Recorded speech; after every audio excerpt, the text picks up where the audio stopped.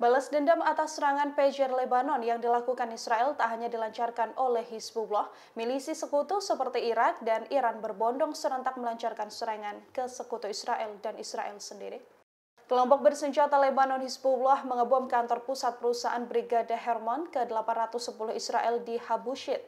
Roket Katyusha juga menyerang Komando Batalion Al-Sajal di Barak Beit Hillel. Posisi artileri pendudukan di Neveziv juga diserang oleh rentetan roket.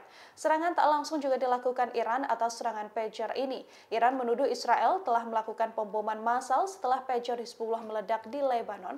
Kementerian Luar Negeri Iran mengutuk tindakan rezim Zionis. Iran secara secara terbuka menyatakan perang, balas dendam, dan menuduh Amerika Serikat ikut terlibat. Tuduhan Iran yang bisa berdampak serangan ini juga diantisipasi Amerika Serikat. AS meminta Iran untuk tetap tenang dan membantah terlibat dalam serangan pager Israel.